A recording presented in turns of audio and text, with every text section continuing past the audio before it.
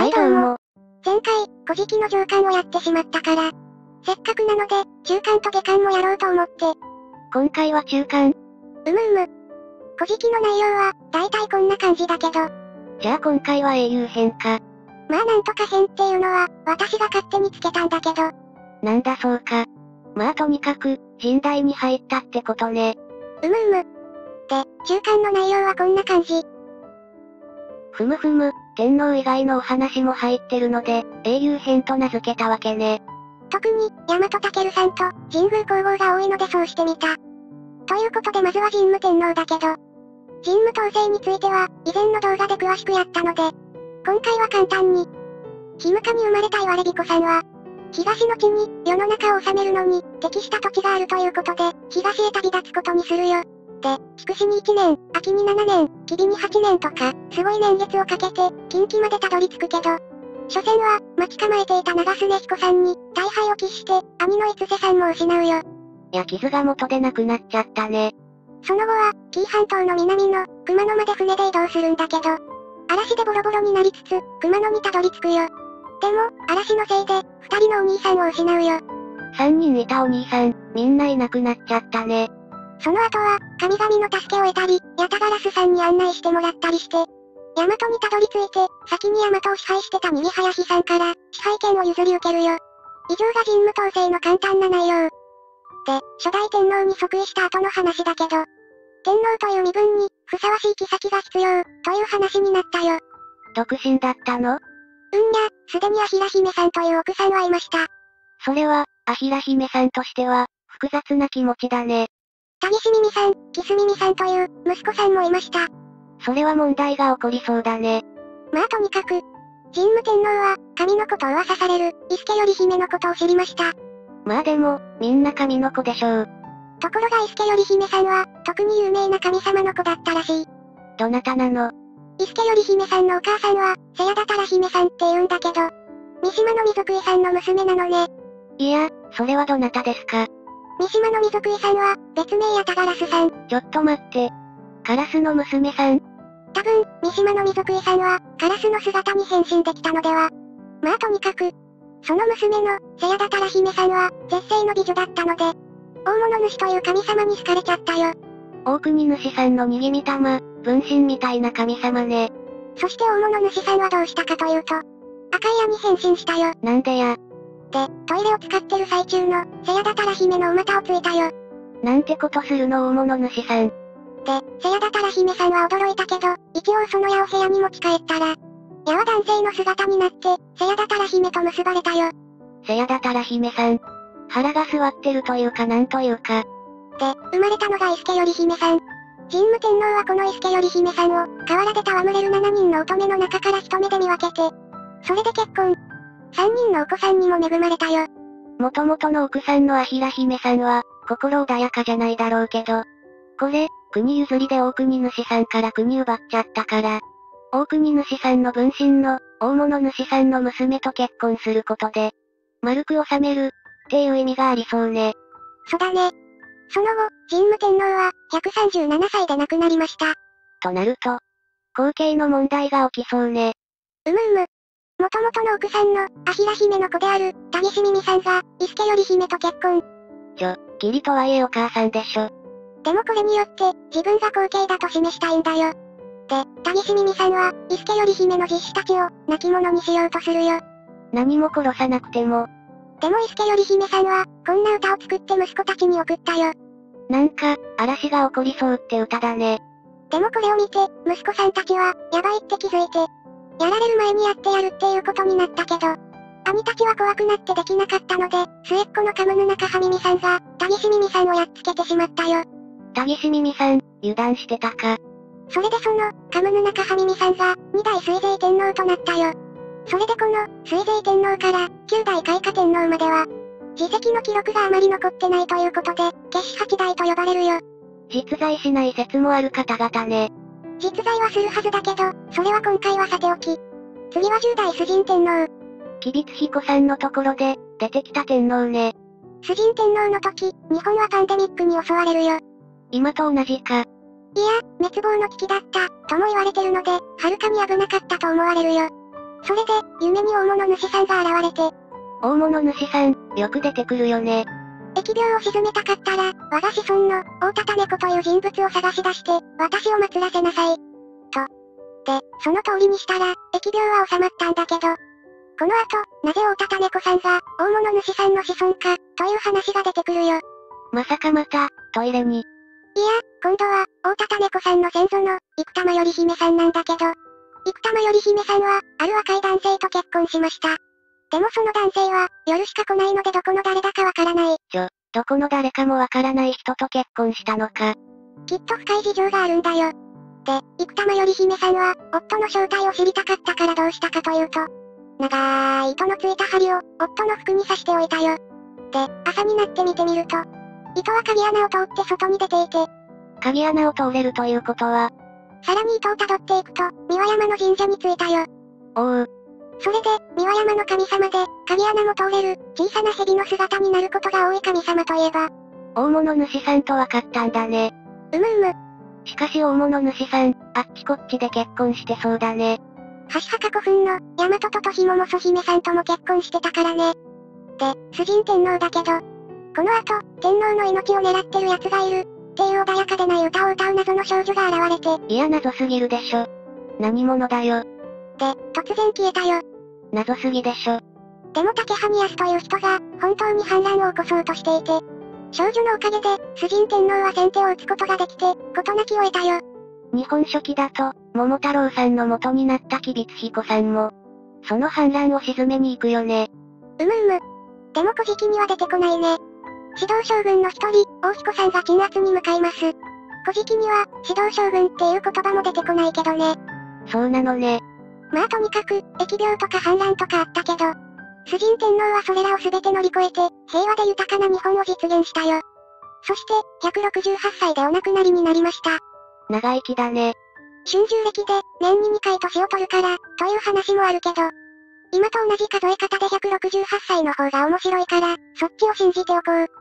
そうそう、古事記の主人天皇は、日本初の税制を作った天皇なんだよ。税金か。取られる方としては嬉しくないね。でもそれで、灌漑用の池とか作って、国を豊かにしたのだ。公共事業か。さてはケインズさんの本を読んで。次は11代水人天皇。スルーかよ。水人天皇には7人の奥さんがいらっしゃったんだけど、最初の奥さんのサホビメさんが、問題を起こしちゃうよ。ひょっとして不倫か。そうなんだけど。お相手は？お兄さんのサホビコさん。義理の兄？実の兄。ええー。サホビコさんに、夫とお兄ちゃん、どっちが好きって聞かれて。妹萌えかよ。お兄ちゃんの方が好きって答えたって。かよ。じゃあ天皇を亡き者にして、二人で国を治めようと言い始めて。なんでそうなるの？サホビメに小刀を持たせて、暗殺させようとするよ。ひどい兄ちゃんじゃないか。で、天皇が眠っている間に、首を刺そうとしたけど、できなくて、涙が天皇の顔に落ちて。バレたね。バレたかどうかわからないけど、天皇はそ知らぬふりで、サホの方から嵐が来る夢を見たよ。それから蛇が首に巻きつく夢も。とおっしゃったよ。それは気を使って、遠回しに言ってくれてるっぽいね。そんなこと言われちゃあ、サホビメも降参するしかなくて、すべてを打ち明けちゃったよ。サホビメさんは処罰されちゃったかね。天皇はサホビメさんをよほど好きだったのか、不問に付されたよ。でも兄の方は許さないんだね。うむうむ。それで早速兵を集めて、サホビコさんを攻撃。ところがサホビメさんは、兄が心配になって、兄の元に行ってしまうよ。サホビメさん、辛い立場だ。それで水人天皇は、やっぱりサホビメさん好きだから、攻撃しづらくなって、戦は長引いてしまったよ。それでもまだ許してるのね。そうこうするうちに、サホビメさんは出産しちゃって、天皇の巫女なので、子供だけでも引き取りに来てください。って知らせてくるよ。それを聞いて、水人天皇は、ついでにサホビメを取り返すチャンスだと思って、精鋭部隊を選んで、赤ちゃんを受け取りに行かせるけど、サホビメさんはなんと、髪を全部剃って、それをそのままカツラとして使って、さらに、服も、玉飾りの紐も腐らせておいたよ。なぜそんなことを？精鋭部隊が赤ちゃんを受け取りに来た時、サホビメさんも連れて行こうとするんだけど、髪を掴んだらカツラが取れるし、紐を掴んだらちぎれるしで、結局取り逃がしてしまうんだよ。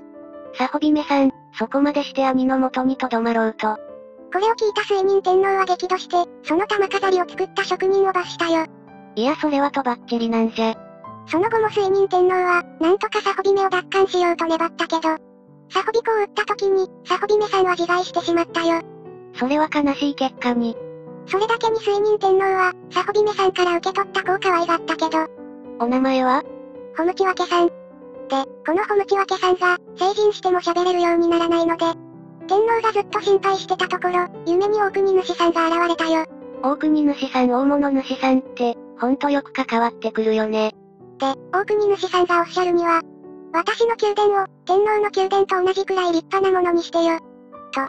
国譲りの時の約束、守ってなかったのね。または、長年放置してボロボロだったとか？まあとにかく、本当に大国主さんの言葉なのかどうか、明達という人に確認させるよ。それで明達さんは、もし本当なら池の詐欺を全部死なせてくださいって言うよ。詐欺かわいそうじゃん。そうすると詐欺はみんな死んだよ。ええそれでさすがに明達さんもビビりまくって、今度は全部生き返らせてくださいってお願いするよ。そうすると詐欺はみんな生き返ったよ。大国主さん、とんでもない力だな。で、ホムチワケさんが出雲にお参りすると、それだけで喋れるようになりました。まだ神殿修築してないのに？うむうむ。それでホムチワケさんは帰る途中に、ひなが姫さんという美女に出会って、恋に落ちるよ。喋れるようになったから、嬉しくてナンパしたのかな。で、ひなが姫さんと一夜婚をするよ。一晩だけって、それは、ところがホムチワケさんが、ふと目覚めてひなが姫さんを見ると、なんと大蛇の姿になってたよ。どういうことなの？で、ホムチワケさんは、びっくりしてみんなで船に乗って逃げるよ。でもひなが姫さんは、ホムチワケさんが好きだから、蛇の姿のまま水面を滑るように追いかけてきます。なんか切ないな。それでホムチワケさんは、船を陸に引っ張り上げさせて、山も越えさせて、そしてまた海に下ろして、やっと逃げをせるよ。それにしても、蛇になる人多い気がするな。ちなみに、水人天皇の晩年、田島森っていう人が、不老不死の実を手に入れるため、常世の国へ行くよ。それはあのよ黄泉の国とは違うみたいだけど、新鮮が住まう場所らしい。で、海を越えていくらしい。それはもう帰ってこれないんじゃ。ところがなんと、田島森さんは10年くらいかけて帰ってくるよ。常世の国から帰ってくるとか、なんかすごいな。でも帰った頃には、すでに水人天皇は亡くなっていて、田島森さんも、後を追うように亡くなったよ。不老不死の実はどうしたんだろ。サホビメの遺言で水人天皇の皇后になってた、ヒバス姫に献上されたよ。じゃあその日バス姫さんが不老不死に。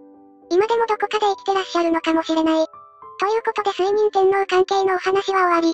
そして次は、白鳥の王子、大和健さんのお話。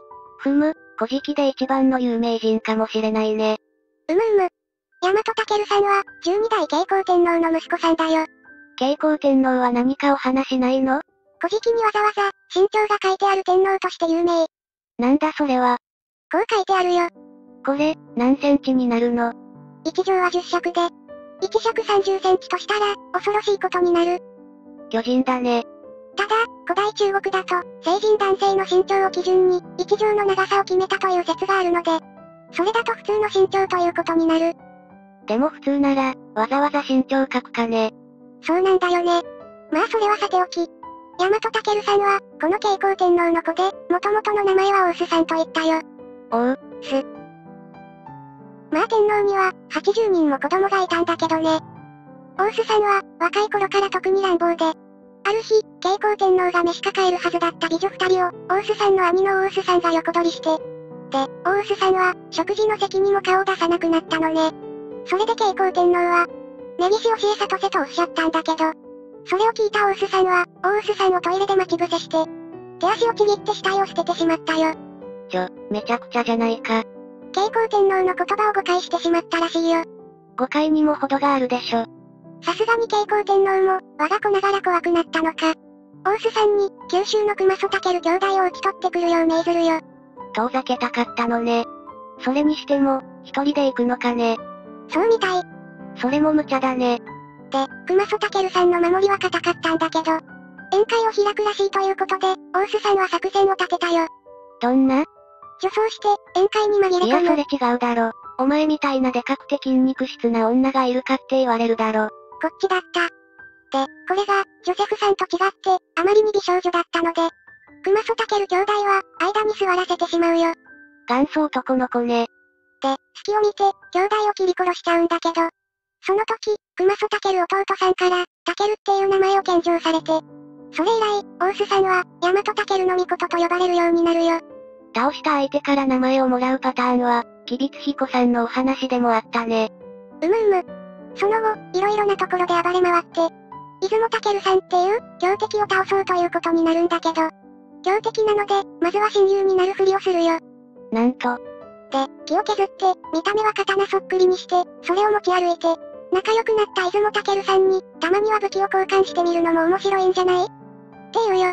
嫌な予感が。で、出雲タケルさんと武器を交換したところで、いざ勝負、と。なんかひどいな。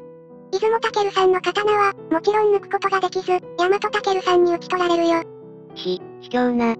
ろくに軍も与えられず、一人で倒さなきゃいけないんだから仕方ないよ。まあ、それもそうだけど。で、都に帰ると、休む間もなく、東国を平定してきなさいって命令されるよ。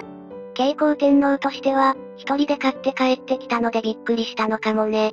さすがの大和健さんも、これにはショックで、伊勢神宮にいる、おばの大和姫さんのところに行って、天皇は私に死ねとおっしゃるのかって、泣いたよ。また軍隊もつけてもらえないのね。それで大和姫さんは、三種の神器の一つ、草薙の剣と、あと、ピンチになったら開けなさいっていうことで謎の小袋を持たせて送り出すよ。謎の小袋。中身はテイクアウトじゃ。で、途中、終わりの宮津姫と婚約した後、相模国の焼津で、騙されての腹の中で火に囲まれて絶対絶命。で、ここではっと思い出して、例の謎の小袋を開けてみると。中から魔人が。いや、火打ち石が出てきたよ。それ、がっかりじゃない？普通の人ならがっかりかもしれないけど、大和健さんは違うよ。剣で周りの草を投げ払って、火打ち石で火をつけたよ。そうしたらその火が逆に、敵の方に燃え広がっていって、逆転勝利することができたよ。大和姫さん、こうなることを予知してたのか。その後は、奥さんの一人が、犠牲になっちゃったりしたけど、なんとか各地を平定。で、終わりに戻って、宮津姫と結婚。これでやっと、大和健さんも、幸せに暮らせるかと思ったけど、なんと、草薙の剣を持たずに、伊吹さんの荒ぶる神と戦いに行ってしまうよ。なぜですの？わからないよ。一説によると、油断したからとか、また別の説によると、独立の意思表示だとか。そうそう、草薙の剣は、火攻めにあった時、草を投げ払ったことで、その名がついたよ。有名な話だね。さて伊吹さん。ここで、白いイノシシと出会います。でも大和健さんは、その白いイノシシは、神ではなく、神の使いとみなして、スルーしてしまいます。ところが、ところがその白いイノシシこそ、伊吹山の神で、大和健さんが油断してるところに、毒の票を降らせます。それで大和健さんは、意識が朦朧として、体もボロボロになって、ついには杖がないと歩けないような状態になります。おお、無敵の英雄がボロボロに。で、私の足は三重に曲がってしまったって言ったことから、三重っていう地名ができたんだそうな。そしてのぼのっていうところで、とうとうお亡くなりになったよ。最後に作った歌が有名だね。大和は国のまほろば、ってやつね。うむうむ、そして亡くなった後、白鳥になって飛び去ったよ。ということで、今回最後の主人公は神宮皇后。どなたの皇后なの？第14代中愛天皇だよ。さてさて、お二人は、熊祖と戦うために、九州の貸宮にいらっしゃいました。で、中愛天皇が、神の声を聞こうと、琴を弾いていたところ、皇后を通して、神託がおりました。ほう、どんな内容？西の方に、金銀財宝どっさりの国があるから、まずはその国をあなたのものにしてあげよう。ありがたい選択じゃないか。でも天皇は懐疑的で、高いところから西の方を見てみたけど、海しか見えませんよ。なんて答えて、嘘つきの神だと思って、ことを押しのけちゃったよ。そうしたらその神様が怒って、中愛天皇はこの後すぐに亡くなっちゃったよ。おお、なんてこと。で、あまりに恐ろしかったので、国中の汚れを払って、全力で神様に謝罪して、それから改めて、竹内のすくねさんが、神の声を聞いてみたよ。竹内のすくねさんって、お札にもなってたのか。で、神様がおっしゃるには、この国は、あなたのお腹にいる子が治める。それから、西の国を攻めたいならどうすればいいか、事細かに教えてくれたよ。それでその通りにすると、魚の群れが船を運んでくれて、追い風もどんどん吹いて、あっという間に白木近海までたどり着いて、さらに大海嘯が起こって、白木に打ち寄せたよ。船は平気なのか？不思議不思議。で、そんなわけのわからない津波に襲われたので、上陸するとすぐに白木王は降伏してしまったよ。リヴァイアさん召喚されたらたまらないね。でも、その途中で、赤ちゃんが生まれそうになったので、下着の腰に、石をぶら下げて、生まれないよう我慢したそうな。そんなことで我慢できるのか。で、九州に帰って、そこで無事出産。大生まれになったのが、後の王神天皇です。でも、王神天皇には、腹違いの兄が二人いて、王神天皇を亡き者にしようとするのね。なんか、後継争いがよく起きるね。カボサカさんと、押熊さんというお兄さんだけど、カボサカさんの方は、勝ち運を占うために出かけた狩りで、でっかいイノシシに食い殺されてしまいます。それも明らかに最悪の前兆では。まあ結局、神宮皇后側が勝利して、そして王神天皇は無事大和へご帰還。まあ、日本書紀によると、即位するのは神宮皇后が亡くなった後なんだけどね。この絵はどなた？ホムダワ家の巫女と、後の王神天皇を抱っこする、竹内の宿根さん。まあ王神天皇の後、また例によって後継争いが起こったりするけど、とりあえずこれで、古事記な勝巻の主な部分は終わりだよ。ちなみに、以前紹介した、関裕二さんの説では、今回の登場人物がみんな、同じ時代の人になってるよ。オールスターね。うむうむ。ということで今回も、余計なことは言わずサラダバー。ふむ、伸びちゃったから速攻撤退するか。ということで、皆様、ご視聴ありがとうございました。チャンネル登録高評価、よろしくお願いします。ではでは。